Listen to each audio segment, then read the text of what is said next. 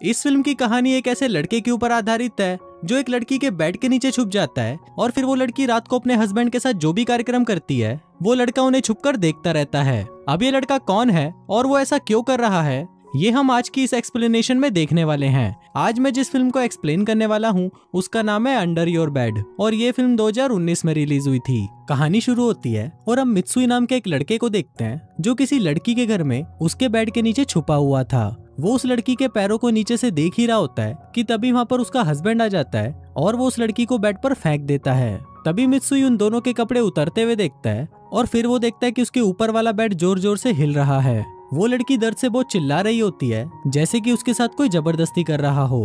अब यहाँ से सीधा कहानी फ्लैशबैक में जाती है, जब मित्सुई स्कूल में था। स्कूल में मित्सुई का कोई भी दोस्त नहीं था और वो हमेशा अकेला ही रहता था, क्योंकि स्कूल में सभी लोग उसे इग्नोर करते थे और उसके होने या ना होने से किसी को कोई मतलब नहीं था। अब ऐसे ही टाइम बीतता है और मित्सुई कॉलेज पहुँच जाता है। फिर एक दिन क्लास में मित्सुई का टीचर उससे एक क्वेश्चन पूछता है, जो उसे पता नहीं था। तभी पीछे से उसे चिहिरो नाम की एक लड़की आवाज़ लगाती है और उसे अपनी नोटबुक देती है। अब ये देखकर मित्सुई को बहुत अच्छा लगता है, क्योंकि इससे पहले उसके साथ इतना अच्छा बिहेव किसी ने नहीं किया था। फिर क्लास के बाद मित्सुई घबराते हुए चिहिरो से कॉफ़ी के लिए पूछता है, जिसके लिए चिहिरो भी हाँ बोल देती है। इसके बाद कॉफ़ी पीते हुए चिहिरो मित्सुई से उसकी हॉबीज के बारे में पूछती है, जिस पर वो बोलता है कि उसे ट्रॉपिकल फिशेस बहुत पसंद है और उसका पूरा घर एक्वेरियम से भरा हुआ है। वो चिहिरो को बोलता है कि वो उसके घर में भी एक एक्वेरियम सेट कर सकता है, जिसके लिए चिहिरो भी मान जाती है। फिर अगले दिन मित्सुई चिहिरो के घर पर एक्वेरियम सेट करने के लिए जाता है, पर उसे वहाँ पर चिहिरो नहीं मिलती। इसके बाद कहानी 11 साल आगे शिफ्ट होती है, जहाँ हमें पता चलता है कि मित्सुई आखिरी बार चिहिरो से उस कैफ़े में मिला था और उसके बाद से वो आज तक चिहिरो से कभी नहीं मिला।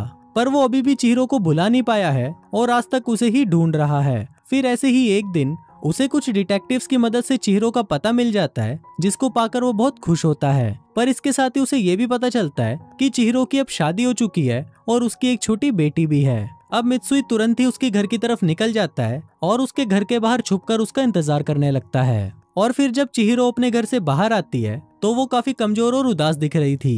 वो मित्सुई के पास से निकल जाती है, लेकिन वो उसे पहचान नहीं पाती। अब मित्सुई उसे देखकर हैरान हो जाता है कि इन 11 सालों में ऐसा क्या हुआ कि चिहिरो की ऐसी हालत हो गई। इसलिए मित्सुई डिसाइड करता है कि वो चिहिरो को पहले की तरह खुश मिजाज बनाएगा। इसके लिए वो उसके घर के ही सामने एक एक्वेरियम शॉप रेंट पे लेता है और उसी बिल्डिंग के थर्ड फ्लोर पर वो रहने भी लगता है। वो अपने रूम की दीवार पर चिहिरो की एक फ़ोटो लगाता है और साथ ही वो वहाँ पर चीरो की एक ड्रेस पहनी हुई डमी को भी रखता है। क्योंकि मित्सुई जब उस डमी को छूता है तो उसे लगता है कि चिहिरो उसके पास ही है। फिर रात को मित्सुई एक टेलीस्कोप की मदद से चीरो पर नज़र रख रहा था, जो कि अपने हस्बैंड के साथ डिनर कर रही थी। पर तभी अचानक उसके हस्बैंड के पिछवाड़े में चुलसी मचती है, और वो चीरो को वहीं पर ही पीटने लग जाता है, जिसको देखकर मित्सुई भी हैरान हो जाता है। फिर अगले दिन मित्सुई चीरो के घर के बाहर जाता है जहाँ वो देखता है कि चिहिरो अपने हस्बैंड को ऑफ़िस जाते हुए गुड बाय बोल रही थी। अब उन दोनों को देखकर ऐसा बिल्कुल भी नहीं लग रहा था कि कल रात उन दोनों के बीच में कुछ हुआ था। पर जैसे ही चीरो मुड़ती है तो हम देखते हैं कि पीटने की वजह से उसकी एक आँख सूज गई थी।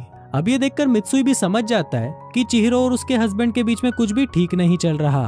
अब इसके बाद से ही मित्सुई चिहिरो के घर के बाहर एक फूलों का गुलदस्ता और एक कार्ड रखा करता था, जिसको चिहिरो रोज कूड़े में फेंक दिया करती थी। यहाँ तक कि उसे ये भी जानने में कोई इंटरेस्ट नहीं था कि ये सामान कौन भेज रहा है।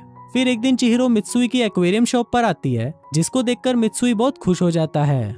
वहाँ चिहिरो को एक फ़िश बहुत पसंद आती है, पर वो फ़िश बहुत महँगी थी तो चिहिरो वहाँ से जाने लगती है। पर तभी मित्सुई उसे रोकते हुए बोलता है कि आज हमारी शॉप की ओपनिंग है, इसलिए हम अपने पहले कस्टमर को फ़िश फ्री में दे रहे हैं।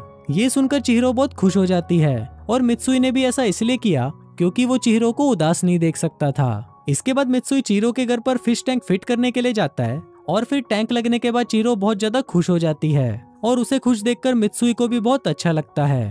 तभी वहाँ चीरो किसी काम से दूसरे कमरे में चली जाती है और मित्सुई मौका देखकर उसके घर की चाबी चुरा लेता है और फिर कुछ देर बाद वो उस चाबी की कॉपी बनाकर उसे वापस उसी जगह रख देता है। इसके साथ ही वो एक लाइटर में माइक भी फिट कर देता है और वो उसे चीरो के बेडरूम में रख देता है ताकि वो उसके और उसके हस्बैंड के बीच की सारी बातें सुन सके। इसके बाद मित्सुई वापस अपने घर आ जाता है और फिर रात को जब चिहिरो का हस्बैंड वापस घर पर आता है तो उस माइक की मदद से मित्सुई को पता चलता है कि चिहिरो का हस्बैंड उसे बहुत मारता पीटता है। अभी सुनकर मित्सुई को बहुत ज़्यादा बुरा लगता है, पर वो बेचारा कुछ कर नहीं सकता था। फिर अगले दिन जब चिहिरो अपनी बेटी को घुमाने के लिए बाहर जाती है, तब मित्सुई चुपके से उसके घर में जाकर फ़िश टैंक को साफ़ कर देता है और साथ ही वो लाइटर में माइक की बैटरी को भी चेंज कर देता है। अब ऐसे ही करते हुए कुछ दिन बीत जाते हैं और फिर एक दिन हम देखते हैं कि मित्सुई चीरो के घर में से सफ़ाई करके बाहर निकल ही रहा होता है, कि तभी उसे याद आता है कि वो अपनी डुप्लीकेट चाबी तो चीरो के कमरे में ही भूल गया है, पर तभी वहाँ पर चीरो भी वापस अपने घर आ जाती है।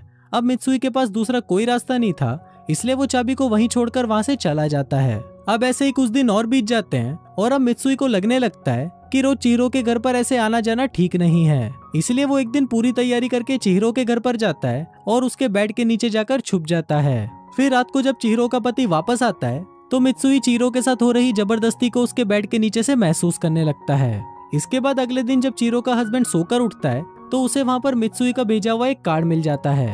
अभी देखकर उसको बहुत गुस्सा आता है और फिर वो चीरो को कुत्ते की तरह पीटना शुरू कर देता है, क्योंकि उसे ऐसा लग रहा था कि चीरो का किसी के साथ अफेयर चल रहा है। अब मित्सुई भी ये सब देखकर रोने लगता है, क्योंकि चीरो की ये हालत उसी के ही भेजे हुए कार्ड की वजह से हुई थी। फिर आधी रात को जब चीरो का हस्बैंड सो जाता है, तब मित्सुई उसके बिस्तर के नीचे से बाहर निकलता है और भागता हुआ उसके बाथरूम में जाता है। वहाँ वो देखता है कि चीरो के हस्बैंड ने उसे मार मार कर अधमरा कर दिया है और वो बाथरूम में ही बेहोश पड़ी है। तभी मित्सुई उसे बाथटब से बाहर निकालता है और उसके शरीर को एक ब्लैंकेट से ढककर वहाँ से वापस अपने घर चला जाता है। फिर अगले दिन जब चीरो उठती है तो वो अपने ऊपर रखे ब्लैंकेट को देखकर समझ जाती है कि कोई तो है जो उसकी मदद कर रहा है। इसके बाद चीरो अपने बेडरूम में आती है और वहाँ पर ज़ोर ज़ोर से चिल्लाने लगती है कि अगर तुम मेरी बात सुन पा रहे हो तो प्लीज़ मेरी मदद करो। दूसरी तरफ़ मित्सुई भी चीरो की बातें सुन लेता है और फिर वो डिसाइड करता है कि अगर इस बार चीरो के पति ने उस पर हाथ उठाया तो वो उसे मार डालेगा। फिर अगली सुबह हम देखते हैं कि चीरो के घर पर उसकी माँ का कॉल आता है, जो उसको बताती है कि उसके फादर की तबीयत बहुत ज़्यादा खराब है और वो कभी भी लुढ़क सकते हैं। फिर रात को चीरो अपने हस्बैंड को ये सभी बातें बताती है और कहती है कि उसे अपने फादर से मिलने जाना है। पर उसका चूतिया पति उसे मना कर देता है और बोलता है कि तुम कहीं नहीं जाओगी। मरने दो उस बुड्ढे को मुझे कोई फ़र्क नहीं पड़ता। अभी सुनने के बाद चीरो को भी गुस्सा आ जाता है और वो अपने हस्बैंड को एक थप्पड़ मार देती है। तभी उसका हस्बैंड गुस्से में उसे फिर से पीटना शुरू कर देता है। पर तभी वहाँ पर हम मित्सुई को देखते हैं, जो पर्दे के पीछे छुपा हुआ था और वो बहुत कोशिश करता है कि वो उसके हस्बैंड को मार डाले। पर वो ऐसा करने की हिम्मत जुटा नहीं पाता और अपने घर आकर खुद को ही कोसने लगता है। वो गुस्से में खुद को ही इलेक्ट्रिक शॉक दे देता है, जिससे वो वहीं पर बेहोश हो जाता है। फिर अगले दिन जब उसे होश आता है तो वो देखता है कि चीरो अपने बच्चे को लेकर इस शहर से बाहर जा रही है। ये देखकर मित्सुई उसका पीछा करने लगता है, पर तब तक चीरो वहाँ से जा चुकी होती है। इसके बाद चीरो एक होटल में जाकर रुकती है, जहाँ पर उसके हाथ में वही माइक वाला लाइटर था। चीरो को उस लाइटर में से कुछ आवाज़ सुनाई देती है तो चीरो उस लाइटर को खोलकर उसमें से माइक को बाहर निकाल लेती है। अब माइक को देखकर चीरो समझ जाती है कि इसी से ही वो अनजान आदमी उसकी मदद कर रहा है। तभी चिहिरो के रूम की घंटी बजती है और उसे लगता है कि शायद ये वही आदमी होगा जो उसकी मदद कर रहा है। पर जब चीरो गेट खोलती है तो वहाँ पर उसका हस्बैंड होता है और वो चीरो को पीटता हुआ वापस घर ले आता है और वो वहाँ पर भी उसे मारना शुरू कर देता है। चीरो अपने आप को बचाने की कोशिश भी करती है, पर वो इसमें नाकामयाब रहती है। लेकिन तभी वहाँ पर मित्सुई आ जाता है और उसके हस्बैंड को इलेक्ट्रिक शॉक देकर बेहोश कर देता है। अब इससे पहले कि वो वापस होश में आता मित्सुई उसका गला घोट उसे मार डालता है।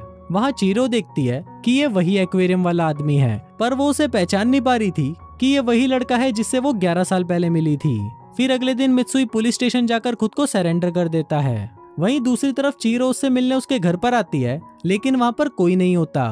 पर उसे वहाँ पर उसके कॉलेज की कुछ फ़ोटोज़ मिलती हैं, जिसको देखकर उसे याद आ जाता है कि ये उसका क्लासमेट मित्सुई है। इसके बाद चीरो भागते हुए पुलिस स्टेशन जाती है और मित्सुई को उसका नाम लेकर बुलाती है। अब चिहरों के मुँह से अपना नाम सुनकर मित्सुई बहुत खुश हो जाता है और इसी के साथ ही ये फ़िल्म यहीं खत्म हो जाती है।